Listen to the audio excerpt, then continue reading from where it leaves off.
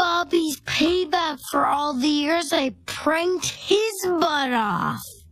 Now that we know the boys' little secret, we've got the upper hand. Let's prank them till they beg for mercy.